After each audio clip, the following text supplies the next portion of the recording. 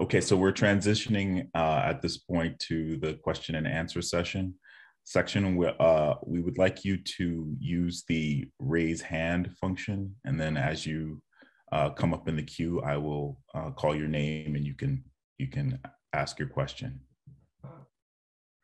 Suzanne. Yeah, hi. Um, you know, thank you both for like, these really, really wonderful papers and and also really moving papers. And and um, and again I would sort of want to try to get the two presentations in dialogue with each other. And so here's here's a question that I have and and it was uh, sparked certainly just by Juliet's term loss and then also Yannis when you at the end of your paper talk about ontological questions which sort of took me a little bit by surprise. And so here, here is what I, I would ask you to sort of reflect on, which is um, a distinction that's been made by a number of uh, theorists, uh, but I'm thinking here in particular the intellectual historian Dominick LaCapra, who makes the distinction between well, what he calls absence and loss. And what he means by that is um, he, he equates, if you will, loss to historical questions. In other words, losses are always historical ones. You know, you lose a, a, um, a friend, a lover, a country, an idea, you know, whatever it might be. And what he calls constitutive absence. In other words, it's a structural a, if you will, a structural loss that is constitutive of the, you know, the very being in the world, right? And in that sense, it's ontological. So, you know, Yannis and Juliet, if you may want to reflect on this kind of distinction and whether it would be, you know, and how that would inform your thinking about loss and also repair. Sure, I can start us um, start us off. I think um, you know so so one of the things that i'm i'm trying to to think through is is is thinking about how to how to think about the the categories of of loss that i'm interested in and and not have it be you know sort of an overly expansive context um, concept. Um, and so um, i think there is um, you know, there's a way in which I would, I would say, I'm not sure how um, how LaCapra's distinction would would map onto onto mine because you know um, in thinking about my category of, of, of, political loss, I think it seems I would be interested to think about how he thinks about historical loss, because one of the, the categories that I'm I'm trying to think about when I think about white grievance, right, which is one of the key um, responses to loss that I talk about in the book, which is about um, contemporary racial politics in the US, is what happens when you have losses that are anticipatory losses, right? Losses that haven't yet occurred, but that are being sort of mobilized on the basis of the the expectation of those losses right and and that may not in fact actually be actually occurring losses in some way, right? It's not, for example, that, you know, the, you know, the, the sort of, um, if you think about the sort of apocalyptic rhetoric that you sometimes hear about what's what's happening right now in terms of racial politics, right? It's it's certainly not a description of, of, of that seems to match reality. So I guess in that sense, I'm, I would be interested in trying to think about how something like that would fit in, right? Where it is it is experienced as a loss, but it's not necessary, but it's not something that I would call either a structural or historical loss. So I'd be interested to hear what you think about about where that would fit into to his t- thinking. Yeah, I mean that's really really interesting. I mean the anticipatory loss category in particular is is really really interesting and, you know, the other part of that is also when we, you know, the term, you know, structural loss in relation to something like structural racism, you know, has become such a coin in, in this in this conversation that you know that distinction between structural and historical is being really, you know, I think pushed against in really interesting ways. Yeah, if I can just say a word on, on, on this, um, I liked your distinction between uh, loss and absence. And I think it's it's crucial um, for everything I was trying to say today, and I think for my work in general, because uh, I feel that you may have both things happening at have both loss and presence. You can have broadly, you know, speaking, the loss of a specific material apparatus. In this case, the loss of a loss of a of a, of an assemblage of, of practices that were you know, in operation at that moment, but you have presences still, despite the loss. You still have presences in terms of remains, in terms of um, the traces that you could actually connect to to, to, to, different things that are happening at, in, at that place uh, previously, but also to other things from other locations. So I was able to make lots of other kind of connections by observing closely what remained there. So I think you can have loss um, and presence, but not absence at the same time. So I don't think that you can uh, you can equate loss, as you say, loss and absence. So I see also loss in the more abstract kind of uh, sense, whereas uh, presences can be very material and very specific and uh, very kind of um, distinctive in their immediacy, I think. So our next question is from uh, Leon. Great, thank you so much. Um, yeah, and thanks for these two wonderful papers. Um, my question is actually for for Juliet, um, and I I love so much the the turn to Marlon Riggs and um, the you know looking back to this the kind of AIDS moment to think through questions of loss right now. And actually, as I was listening to your paper. Um, I was thinking about actually a, a chapter from Jose Munoz's book Disidentifications, about um, Isaac Julien's film Looking for Langston. Um, and that's a sort of, he does an attempt to sort of uh, read sort of mourning and melancholia in that film um, and how that film sort of stages a kind of melancholic relationship to a kind of foreclosed Black queer past of the Harlem Renaissance in the midst of the kind of AIDS crisis. Um, and one of the things that uh, he sort of does in that chapter is think about um, what Isaac Julien is doing as a kind of call and response, um, this uh, kind of, um, you know, a call and response to history. And it seemed, as as you're reading the, the, the poem to, to Harriet Tubman, that there was a maybe similar thing going on there. And so I just wanted to hear maybe your thoughts about that, and also if you know how you're thinking about mourning and melancholia, and then maybe also how these forms of loss maybe appear in the realm of the aesthetic in some way because I think um, Jose does an amazing job of sort of thinking through how how loss and the aesthetic sort of intertwine in that in that film. But thank you.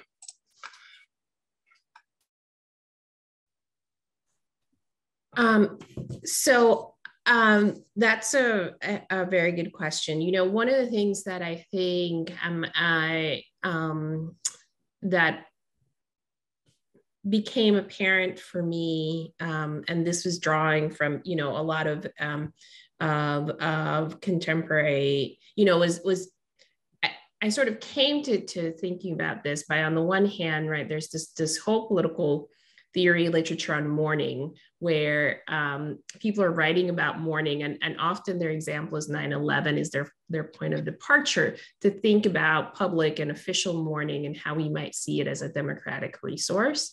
Um, and to contrast that, um, that literature with the work by people in Black studies like Christina Sharpe, right, who are taking a very different stance, right, who refuse that kind of reparative imposition and who are also, I think, drawing on these other traditions to say, you know, the sort of, you know, notion of, of, of mourning that you know that that successful right mourning is overcoming right um overcoming the loss or moving past it and then seeing right melancholia as this problem that it doesn't map on to these situations in which you have um, you know ongoing loss right? Where how do you get over it when you're constantly right um, as she writes about being confronted with with black death over and over either you know or um, either in your own life or or externally? And as as weidman points out in in that video which is one of the reasons that i think it's so it's it's um, it's so powerful. It's like you know she's experiencing these things in her life but she's experiencing them as a black person in the world too and they they impinged on her in that way. Um, so i think that you know there's something really interesting um, for me for thinking about how um, queer mourning and black mourning in this way resist those dominant categories and and i think there there is um, there are some really you know interesting connections there in terms of the both the the sort of you know and there's been some really interesting work too wrestling with the the question about mourning versus activism right? I'm thinking about douglas crimp whom i also talk about in the in the project. And so i think there's a really rich way of thinking about a, a, kind of conversation right that um, that could be had around this question of, of what are some different ways of approaching mourning that have come out of these these spaces that might you know really challenge um, particularly in political theory. I'm, i do not know how other you know how it's being necessarily discussed in other fields as well. Um, and and aesthetics are i think um, you know are are key are a key site where you see some of this work being done, right? Because so much of, for example, the activism is about, um, in some sense, cultural interventions, right? Um, and so um, thinking about the ways in which when you don't have control over the state and whom it mourns, that means if you're trying to make those losses visible, often people turn to the arts, right? Um, so I'll I'll leave it at that. Thank you so much. Adi? Um, I, I, I'm, I'm not sure if it's a question or a reflection and, and a reiteration of what I asked yesterday uh, in the first session, uh, addressing Zachary and, and David. Uh, I, I think there is a, a very interesting built-in tension in both papers uh, between the moving, uh, uh, so somewhat idiosyncratic and certainly historical and specific example or examples that you are uh, um, analyzing and the, the um, attempt or the effort to conceptualize it. Uh, in a way that will not be necessarily uh, uh, haunted by the specific example. So it, in the case of loss, I think it's, it's, it's quite clear, uh, for me at least. Uh, loss as, a, as a, an experience is something that may, may be incomparable between one, one person grieving to, to another. Uh, but uh, there is uh, um, the distribution of loss in society is always uh, unequal, but it is not about really about the, the, effect of inequality per se, but about the regularity of losses uh, and their distribution in, in regular patterns or the order of loss, the order of suffering, the order, um, I call it the order of evils in, in, in society. And and we we must follow this order. I think I think this is uh, uh, uh this is uh, the, the, conceptual uh, element there. It, it is very clear. But when we follow the order, then I, I think the, the question comes up again. So does uh, do certain historically specific examples uh, force us to rethink the concept itself? Or is it simply an application of, of this uh, uh general structure? and I, I, I was less clear uh, um, thinking in the same vein about uh, Yannis' uh, presentation about remains, I was not less clear if this is if, if this is possible at all, because even even if and, and, and I'm I'm hesitating, I'm I'm not sure if, if this is correct, but even if I'm thinking about uh, where you went at the, at the, at the end of the of the talk, uh, very interestingly to think about remains and, and, and temporality, and and to go beyond the the, the haunted uh, uh, the spirit, uh, the ontology, uh, the Derridian ontology to, to Bergson, and, and, speak about duration, I thought, well, but this is not always the case. The, the, the, the, the, the logic, this temporal logic that you are trying to extract is not always the case uh, when we are we encounter remains. Remains may may uh, pop up uh, uh, as we encounter them and force us to temporalize in diff very different ways. And not necessarily to create durations, but to create interruptions or, or, uh, or, or, to collapse um, uh, ancient past with, with the present uh, or, or, to do other things. So I, I wonder if there is something about, uh, about this particular example that, that necessitate in a different way the, the um, you know, the thinking through the historicity of the example uh, in a way that, that makes generalization uh, much harder than in the case of loss. Reflection. Yeah, um, maybe I should uh, should start this time, Juliet. So um, thank you, Adi. This is all very very interesting and useful, and will make me think um, further and, and harder about this issue.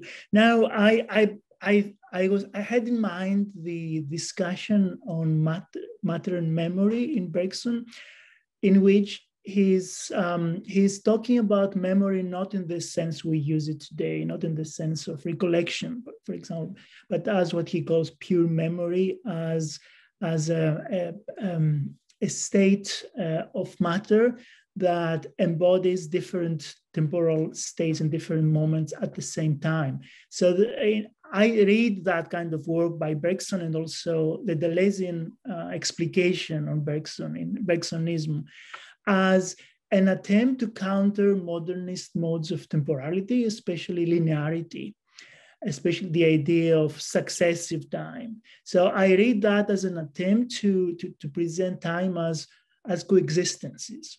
So I think that um, applies to my mind on all matter. Matter as a category in itself embodies coexistences, if we are to go with Bergson and believe also Deleuze on Bergson.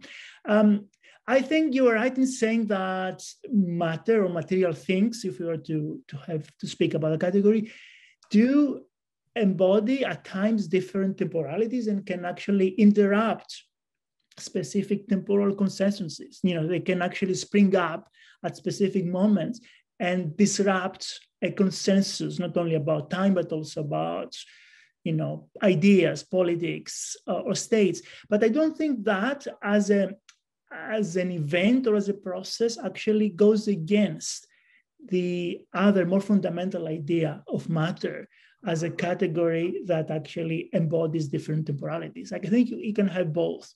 You can have that a pure Bergsonian sense of memory, but also you can have the Proustian moment of memory as, as interruption, as something involuntary that destroys your, your sense of um, you know your your consensus about about things and your own kind of emotional or affective affective state at the moment. I do believe that they're both um, uh, important to think with and, and, consider together. To what extent this specific case is uh, applicable for, you know, useful for a more general theory on remains?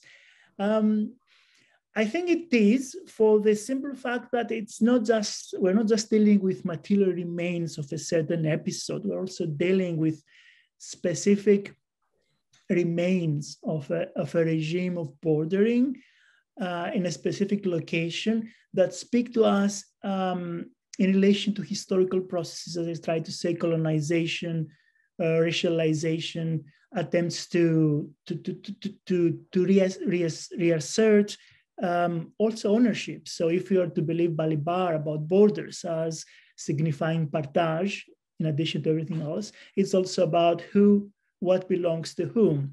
So all these kind of um, specific uh, historical and political and social references that these material things embody can be combined and think together and with with the philosophical properties of matter vis-a-vis temporality. That's why I was trying to combine that philosophical discussion with the discussion on haunting and relate them to haunting to colonization and colonialism, which is something that we uh, we need to do, I think, in relation to contemporary migration. Um, yeah, I'll stop here and allow others to, to chip in. Thank you. Uh, Sharon? Uh, thanks. Uh, so I have a thought kind of slash question for Juliet and then a thought um, for Yannis. So Juliet, I, I, I hear three different dimensions of the political in political loss in what you said. The first is the losses you're focusing on are especially ones that result from state action or inaction. Secondly, that there's um, they they become sites for mobilizations and activism, but a danger with that second aspect of the pol- the politics of loss is that um, marginalized people and particularly Black and Brown people may end up bearing you know, bearing too much of the burden for attending and noticing and addressing the loss. But then I also heard somewhat less fleshed out, but more in passing, a third political sense of loss, which is that these are losses for which democratic citizens have an obligation, or to which democratic citizens have an obligation to attend. And maybe privileged citizens or more privileged citizens may have stronger or different um, uh, or special obligations to attend. And if that third aspect of the politics of loss is right, then maybe there's some potential there for mitigating or making more even the distribution of the burden of, of attending to loss. So I just wonder what you what you think about that. Um, and then for Yannis, I was just so struck by the haunted matter um, thing, and and coming after Juliet's talk, I I it, it occurred to me, or it just made me think, you know, or wonder about human bodies as haunted matter, and you know, we're not matter with the kind of multi-temporality of some of the objects that are the kinds of objects that archaeologists normally think about, but we do, in a sense, have multi-temporality in our bodies, in that we carry our bodies carry the remains as well as the presence of racial and gender and other colonial, other kinds of inequalities and violences. Um, so, you know, Juliet's mention of the higher mortality rates of, of Black women in childbirth, you know, this is uh, remains in a way of, as well as a present, but also a way that our bodies carry remains. And I think also more privileged bodies carry remains. And we should see our bodies, those who are privileged, as being haunted in a way by the remains that um, that our bodies embody as the residue of past and continuing inequalities. So, any thoughts you have about either of you about that would be welcome. Do you want to start? Or? Yeah, I'll I'll just say something briefly. Um, Thank you for that, Sharon. That's very thought provoking. I think you're right that I sort of slipped in the third, um, um, the third question of, of, of um, democratic responsibilities to attend um, to losses, but it's not as as as fully developed. And I do think that I I, you know, given my concern with with the unequal distribution of loss, that I would um, I am worried about this question of, of, of, of the disproportionate work that some citizens have to do to make loss visible. So I think it's absolute. So I think it's absolutely the case that I, I do think the the responsibility to attend to um, to these histories um, of of loss um, are also would fall primarily or that right that we need to have to think about those who are in a privileged position as having a greater responsibility. I was struck by it was interesting there was a social media post by someone who is um, of uh, jewish ukrainian descent who put this post saying that um, that germans had a particular responsibility to pressure their government to help ukraine given um, the way that um, Kiev was destroyed in in in um, in World War, you know, in previous world wars. And it was interesting, you know, and people push back, of course, with the usual like, you know, current and you know, current um, people don't have um, uh, responsibilities for things that you know previous generations this But I thought it was an interesting way of thinking about this question of right. It's both the usual sort of question of you have a historic you have an obligation because of historical wrongs but it was also about you're in this position now and therefore you know you have a special obligation to try to help right this wrong um, and i think that gets at this idea of you know how do we think about um, what our obligations are in the face of, of, of loss Yeah, Sharon, I liked I liked a lot your idea, and I think you're absolutely right. I didn't speak about, you know, explicitly about uh, bodies and human, you know, human bodies, but I think you're absolutely right. Both the, the living human body and the dead human body, I think, is haunting and haunted. I'm thinking in terms of the living that again, if we are to follow the idea that every sensorial perception is haunted by memories, is full of memories, so that's a haunting we carry with us all the time and actually shapes the way we we react uh, today because that kind of the sensorial and the mnemonic cannot be disconnected. They are tightly tightly connected. But even you know in the sense of dead bodies and the bodies that we archaeologists for example excavate or work with um, we we we know now there's so there are so many um, you know, negotiations processes, social interactions, but also claims and struggles around the dead body.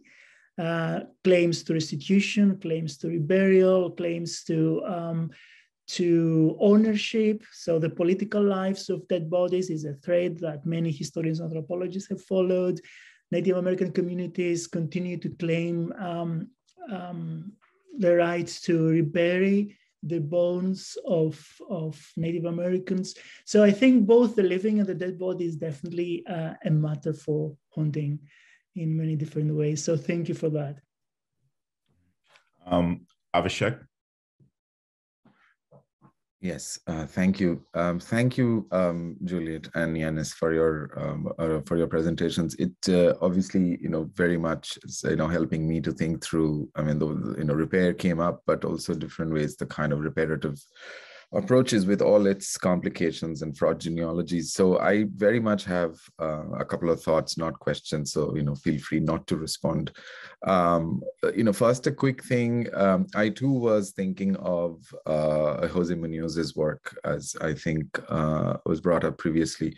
Um, you know, uh, Yannis, with uh, you know, when you're you're the way you were thinking about remains, right? I mean, he you know so wonderfully had talked about how you know ephemerality is not disappearance that uh, the materiality of performance also has you know the, the remains is in, in, a, in the form of residues and tracks and traces um, which was a, such a has been such a fantastic influence in you know thinking of performance. It's something that disappears and how do you put it to political use etc um, so uh, the and and the kind of couple of thoughts which you know i as i was listening to both of you uh, was you know kind of clarifying some of the things that i was thinking about is that this um, you know this kind of tension i guess or conversation for the lack of a better expression between you know when we're thinking of the the you know repair or the reparative turn turn so to say you know, as a on the on the one hand, a kind of mechanism, a symbolic or a material mechanism of redress, which is you know facing the past,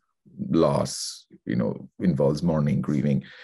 And, uh, you know, and, and then there is the kind of, um, you know, thinking of reparative actions or a gesture as a making, as a kind of world making, making, um, you know, act of making and remaking and world making, right? So I, I think that, you know, I just wanted to, uh, you know, say that th- this tension is productive and it's it's probably helpful to keep this visible and and because this making part is where I was specifically locating this, and I'm thinking of you know the question that Tim had asked me, you know, repair the, the what of repair, not just the how and the why. I mean, in, it's a very generative question, but in some sense, it's also not. You know, people have answered it very straightforward. You know, it's like you know the repairing of the world we we are you know a result of you know modernity and colonialism and slavery that we you know we we are in right now. So i'm thinking of you know that's where if you think of design as a making you know as a way of world making and if you're thinking about the very specific cultural background of design which is the thing that has not been discussed enough and which is where i would hope uh, interventions like mine would be located coming from this whole kind of humanities cultural studies position then uh, you know i say you know on the so so I, on the one hand we talked about you know patricia Stuelke's critique of you know how repair could fall into the neoliberal trap of really you know uh, keeping the status quo and not imagining radical possibilities. But on the other hand i wanted to just mention the work of um, Olufemi who's the philosopher who's you know really talking about that a serious political project of reparation should do two things. One, it should be global in scope, right? And tying it up with the all the anti-colonial decolonization movements and you know, black and indigenous moves towards reparation. And the second point, which is really interesting, he ties it to climate justice. He said, you know, uh, uh it, it has to talk about that, you know, some, so I, I just wanted to kind of put it out there that all of these things um, you know, came, th- I kind of went through all of this all over again, listening to the two of you. So really thank you, um, you know, for that. I'm gonna just say one word about um, the, you, you, thank you first, first of all, Avishek, I think it's a wonderful comment about repair vis-a-vis remains, because this is something that um, let's say in archaeology concerns a lot because as, as you know there's a whole um, discipline of conservation that what they do it's not repair so much as kind of arresting the life of an object or a remnant. And several others have actually raised lots of problems with it. They've said okay this is a specific approach to, to things or to remains that creates a very artificial state of stasis as opposed to allowing remnants to to decay further, to follow their course, to um, scatter perhaps, or you know, become something else, transform itself. So I think that's something that we always are aware of and you know keep in mind. In relation to the remnants I'm, i was working with and I presented to you, my kind of immediate material response would be not repair, but curation of sorts selective curation would allow their journey or allow their kind of their uh, affectivity to be enacted in other contexts, like for example in this context here. Um, yeah. Okay. Thank you. All right. Um, is it Annika? Yeah. Um, I Yannis, you you um you commented on the inherent violence of counting, um, not just numbers, but identities, um, nationalities, race, religion. But um, in order to talk about this violence, we must invoke, or, or maybe we find ourselves invoking the very naming that powers it um, and mm-hmm. powers that counting.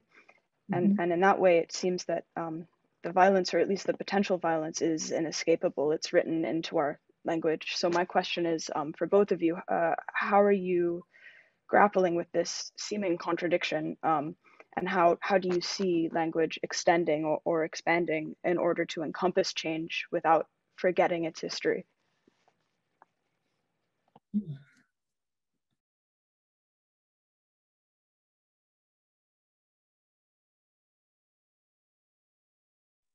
Juliet, would you like to start on that or? Sure, I'll I'll, I'll say um, something briefly. So I think this question of, of, of language is a really um, important question because you know there's a there's a there's a sense in which I think um, some of what I'm doing in this project is is is it's not exactly translation, even though a lot, you know, most of the people I'm writing about are writing in English, but thinking about putting, um, you know, thinking about, for example, going back to that, the issue like, and and this speaks to actually Avishek's um, wonderful comment, which is that one of my concerns about the way, for example, um, the literature on mourning and political theory often talks about Black grief is that is and, and my critique of, of then the reparative move is because it ends up being a kind of parasitic world making Avishek, right? So it's like we're going to use this to repair this larger project, and that in some ways, right, um, means that you you you don't attend to whatever the project the people whose whose whose mourning traditions or whose whose grief you're you're using are are engaging with right? And so and so this question of, of, of language i think speaks to that that tension which is you know how do we um, how do we engage with these with these moments without instrumentalizing them in a way, right? because, you know, if you think about um, private grief that becomes kind of public mourning, there is this, there is this ethical um, question there about, um, you know, how do we engage with these, with these situations, even when it's, it's, let's say, the families or the, the, you know, the, the communities of, of, of people who are suffering, who, who try to make those losses visible, there's still a tension there about, you know, what are the costs of having to do that? I mean, I think Sharon was alluding to this, right? Um, um, and so, and so I think this, this is, you know, um, about how do we, how do we engage in this, in this work of thinking with people who are engaged in their own political projects in a kind of ethical way. And this may not be exactly what you meant by your question, but this is this is how I'm thinking about it um, in relation to some of the the issues that I'm dealing with. Right, this question of of um, in some ways, right, is there a kind of incommensurability, or is there a way in which we can engage in in, in with other with with other people without imposing our own understanding of, of, of what their political project or their, you know, or or whatever else they're engaged in um, um, is. I'll stop there. Yeah, just a, word or two uh, to to supplement what Julia was saying. So thank you for that uh, question, Annika. I think language is crucial in this context, as in you know all other contexts. Uh, and I'm thinking that in relation to to migration, we may have to think about not only the border regime but also the nation state and colonialism and colonization at the same time. Um, when I was um, interviewing the commander of that camp, he used to tell me that there are about 55 different nationalities in, in his camp. So he is thinking in terms of the nation state and he's thinking in terms of categories that the nation state had established.